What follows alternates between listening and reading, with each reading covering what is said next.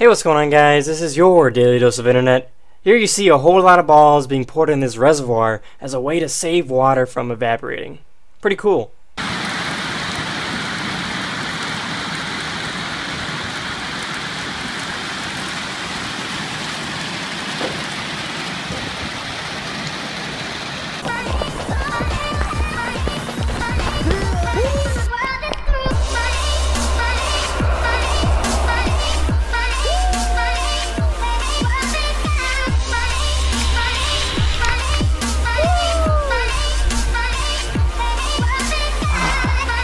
I'll get you next time.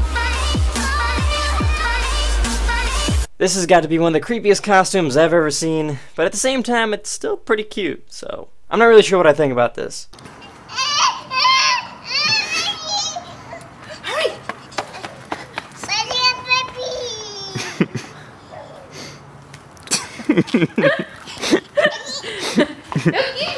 That's all for today's episode. Hopefully you guys enjoyed, and hopefully I'll see you guys again very soon.